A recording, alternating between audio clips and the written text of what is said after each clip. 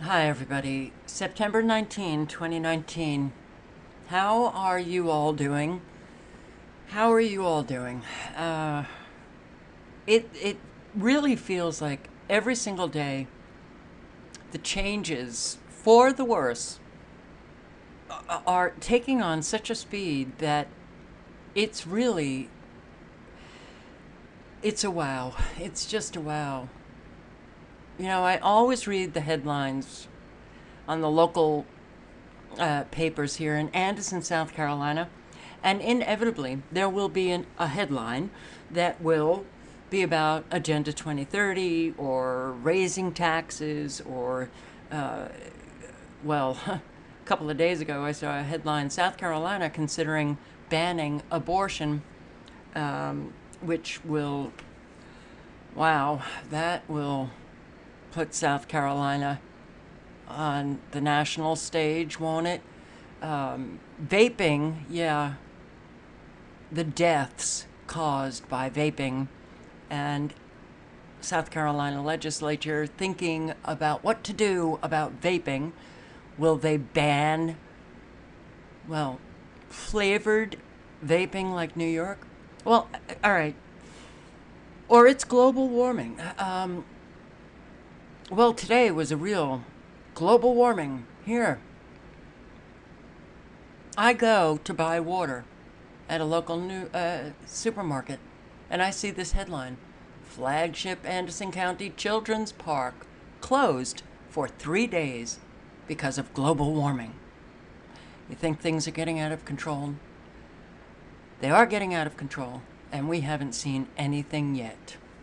Already, we are seeing the controlling aspects of our lives. And it's going to get a whole lot worse. Yeah, only two parks, though. They only closed two out of the county's 36 park system. Oh, because uh, those two parks were geared for children. The other parks, adults. Uh, Well, the children don't come to the parks without their parents, who are adults. And one would think the adults would know okay, it's way too hot. I'm not going to bring my child to the park today. Uh uh No. You now need these government officials like uh, Glenn Brill, the county's park and recreation director. He has to protect you because you don't know. You don't know that the heat could affect your child. So Brill has decided to take it upon himself to save your children. This is not to be mean, it's to be safe. Closures made as a precautionary measure. Okay, it's been hot here. Playlists on my channel, Weather Modification. And on that playlist, the ways in which man can create heat waves, can increase the temperature of that atmosphere. Amazing. People don't see the radical changes in the sky. Uh uh You don't see that black carbon dust dumped into the sky. You don't see the pink clouds that we have. You don't see what is happening right smack in front of your face. Brill. Or do you see it? Or you're just a climate change pusher, a climate change liar pusher. Yeah, it has been hot. 97 degrees on Saturday, 93 Sunday, 98 Monday. And these are very above the historical norms of 85, 84. And guess what? Uh, we have more heat coming. I, after going to that supermarket to buy water, uh, which I'll get to in a second, why I'm saying it like I am saying it, um, I stopped to talk to a neighbor who goes to her weather app when I see her, and she starts telling me what the temperature is going to be for five days 90 plus for five days. Very strange because the normal temperatures for this time of year are like 81 degrees. So it is hot. But it ain't because of global warming. Hmm. Do you think that I felt hopeful when I saw that headline? Do you think it might have, oh, did that SMH thing with me? Oh, it sure did. Yeah. So, this other control freak, Julia Woodson, who runs a 13 member Facebook group, Friends of the Park Kid Venture, that's the name of the park, that's only about a mile away from me, um, said this She hopes shade and a clear set of standards for when to close the park will help children and parents. Well, Julia, why don't you just stop controlling things for people, closing parks when it's hot, and, well, a parent might want to take their child to a park and sit in the shade and. Uh uh No, we've got to close it because of global warming. Oh my God, I cannot believe. Okay, here she says uh, heat and sun have long been issues for parents at the park. But I thought you were closing it because you wanted to make sure the children were safe, safe from the heat. The standards? Yes, Brill is going to come up with standards when to close those parks here in Anderson, South Carolina.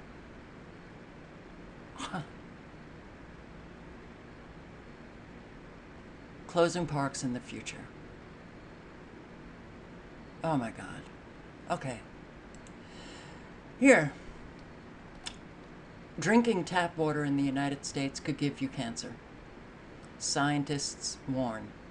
Public water supply serving 6 million people found to contain up to 25 times the safe limit of toxic chemicals. The Environmental Working Group published, I believe, yesterday, their latest uh, study of water supply systems in our country. I've posted videos on those studies, the previous studies, and our water supplies, you know, where you get that water when you turn on your tap, filled with dangerous chemicals and toxins. So now their latest is that it could give you cancer. you think something's wrong in this country? Considering everything that is so toxic now, how could anyone believe that this is just, oops, sorry, accidental? Magnetic field. Earth's magnetic field is mysteriously acting up, pushing North Pole towards Siberia.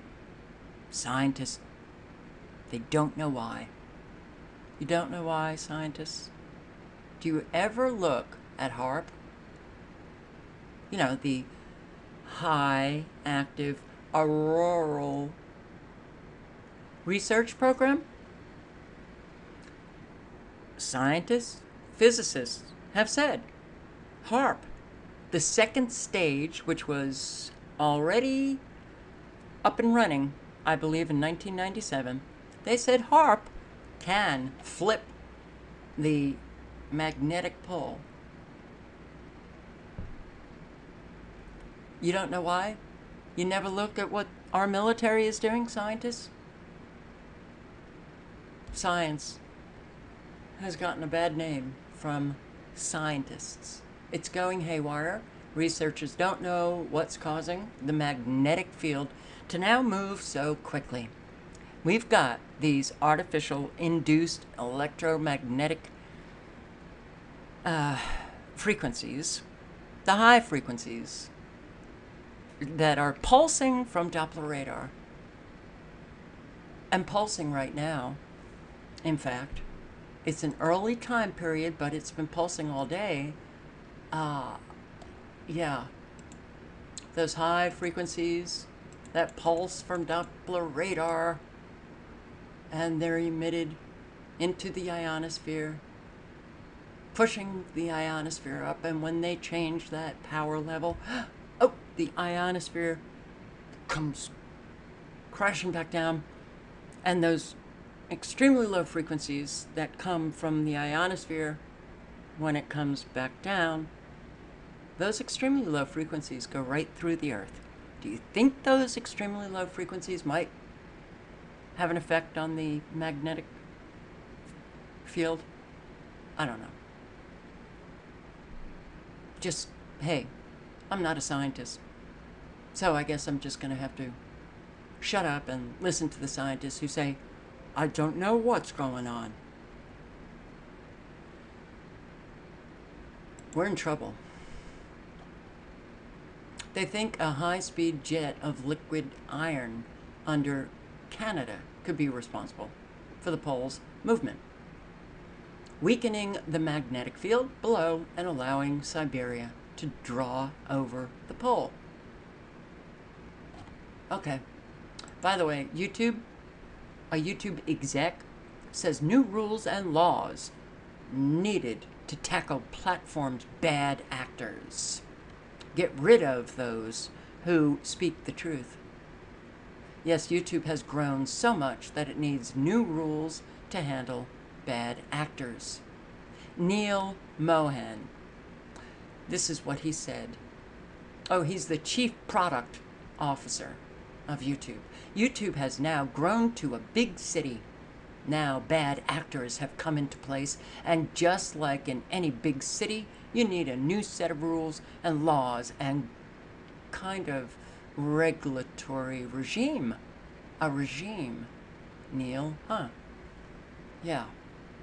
We want to make sure that YouTube remains an open platform. and oh, oh my God, open? Really? Uh, because that's where a lot of the magic comes from. Even though there may be some opinions and voices on the platform that I don't agree with, that you don't agree with. Oh, let's just let them have a voice. Really, YouTube? As you're banning, terminating challenge, uh, uh, cha- um, channels, you're, oh, okay. Well, this is our world today, you know. I, it, Mohan suggested positive discrimination could be applied to authoritative sources like AFP or CNN or BBC or AP or whoever, which raises an issue already flagged by independent media channels that have grown large audiences on the platform. Wow, man. The site was criticized for, YouTube was criticized for banning a number of media challenges. Uh, ch- well, what's, well, is it the extremely low frequencies that are forever belting away? Spartanburg, Doppler radar, the extremely low frequencies coming right into Anderson, where I live. Maybe it's just making people control freaks. Something is going on here, boy. And I'll be posting a video on what is happening just in my apartment complex. Oh boy. Uh, well, let's get back to YouTube. So, YouTube was criticized for, for banning a number of media channels, like Press TV, Telesur. Is it Telsur? It probably Telsur. Uh, and in 2017, it deleted channels that had documented airstrikes and conflicts. It has also come under fire for bowing to Israeli pressure and blocking a video negatively critical of Israel in 28 countries. That's it? That's your entire list, RT? Really?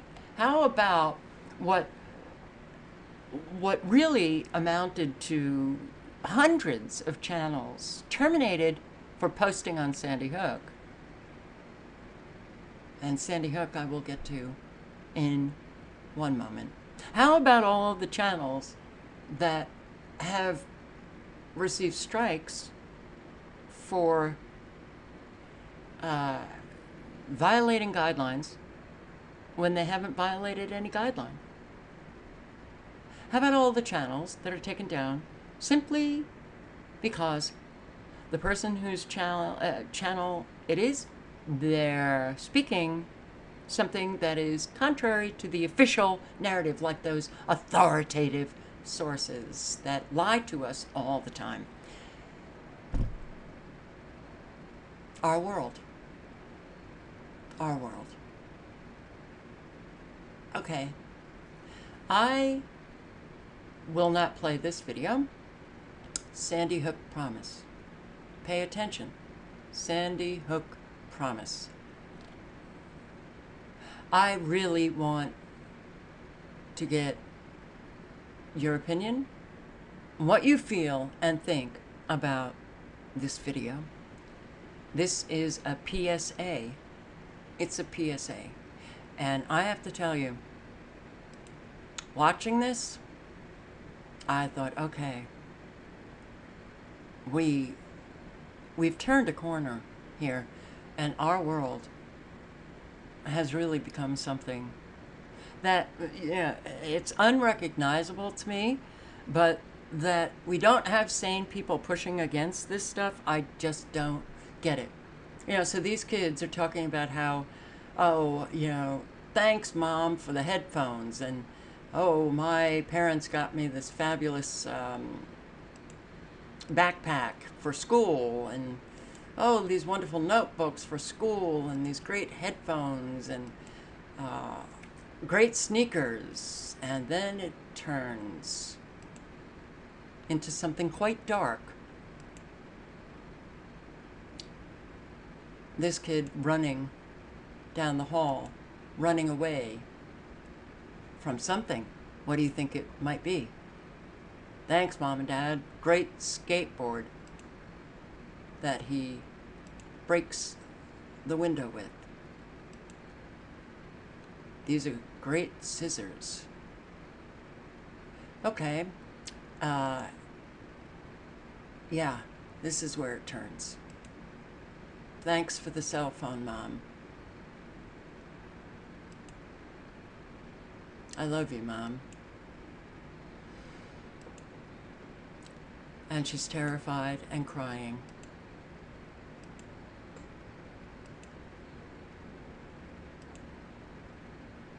So, adults, I guess they like to traumatize children. Evil adults do like to traumatize children. So, I could get this video taken down just because of what I've said. It's outrageous.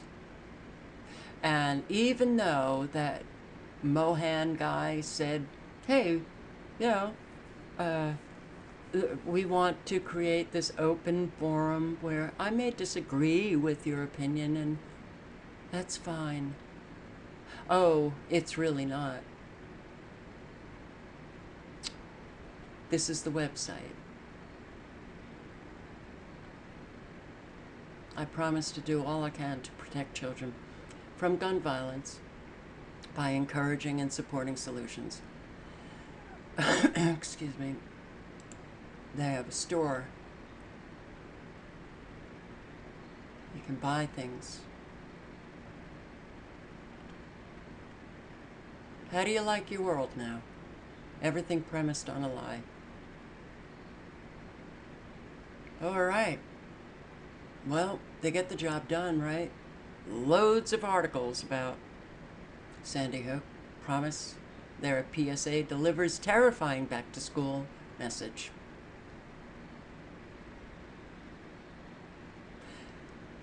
It debuted on NBC's Today Show. It appears to be an ad for back to school products, like backpacks and binders, but gradually takes a much darker tone as students react to a school shooting.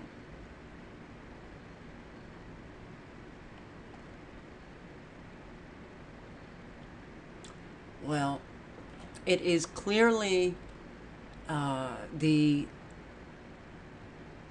This is the world. It's it's owned and controlled by psychopaths, narcissists, and liars. And I don't think they have that right to control everything, but hey, it is just the way it is. You can uh, get a job uh, by applying in seconds, and wow, Sandy Hook Promise hiring 24 to $45 an hour. Yeah, it's it's these organizations that have an awful lot of money and they can hire people. And a lot of these people that they hire, they think that they're doing the good work, right? Well, the good work actually it doesn't pay you $45 an hour. I just want you to see the um,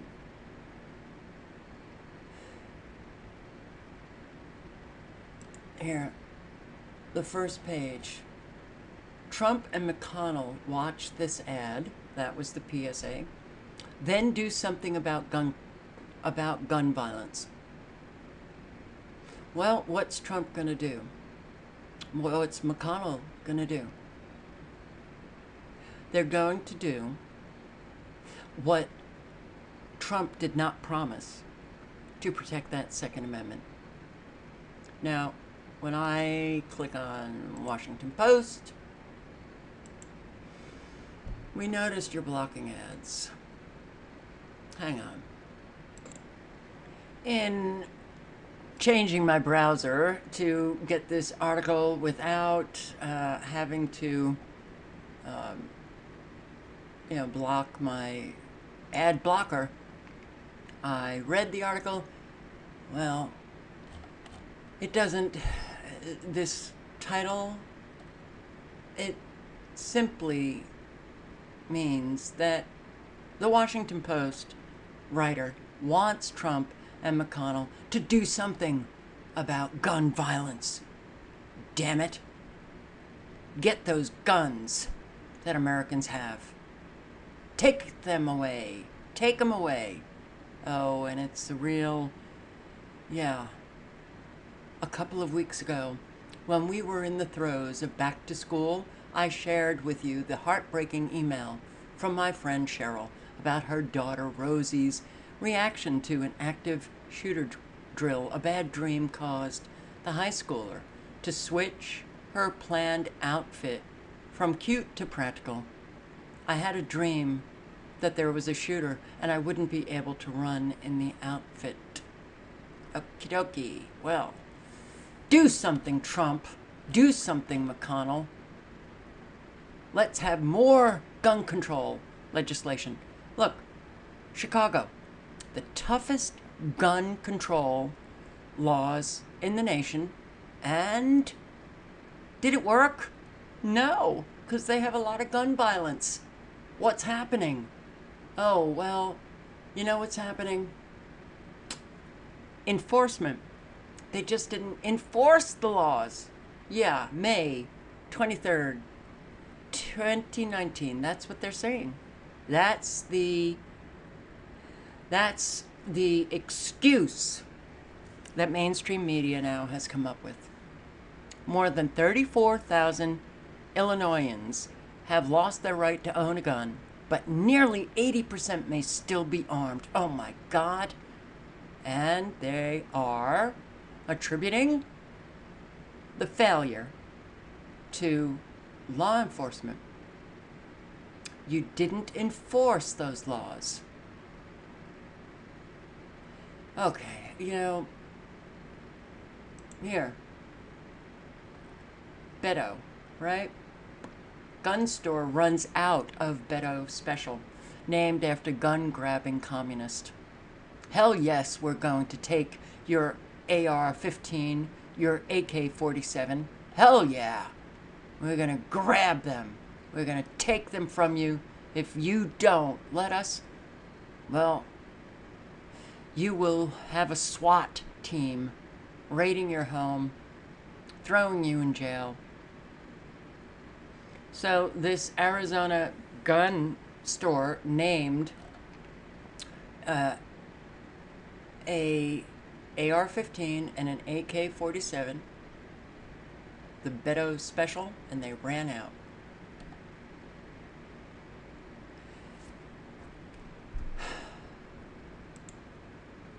It's okay. Smart faucets and toilets use Alexa to listen to your conversations. Okay.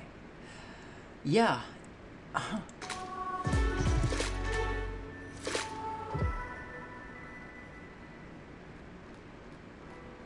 guys, Hannah and Mike here with Delta. If you're like us, you probably have some sort of connected home speaker like Amazon Alexa or Google Home device. We use ours for all kinds of things, to play music. Set cooking timers. We even use it to check the weather. And now, thanks to Delta Faucet's Voice IQ technology, you can use your voice to turn on your kitchen faucet. Pretty crazy, right? And you may be wondering why you'd ever need to do that. But if you think of Yeah. Okay. Well, Alexa, turn on my faucet. Sure, but I'm spying on you. I'm spying on you.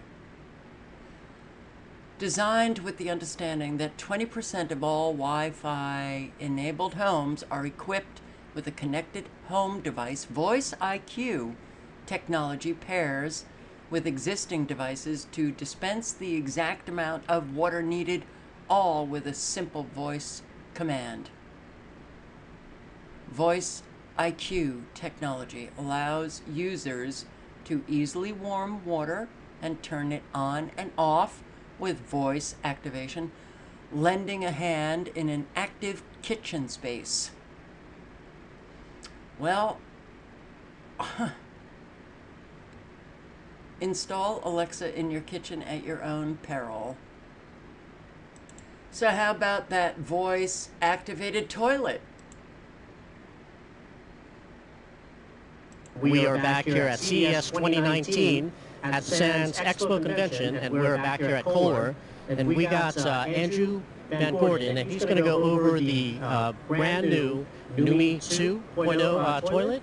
Andrew? Yeah, this is uh, Numi 2.0 Intelligent Toilet by Kohler. Uh, this is our second iteration of the product after it launched originally in 2011.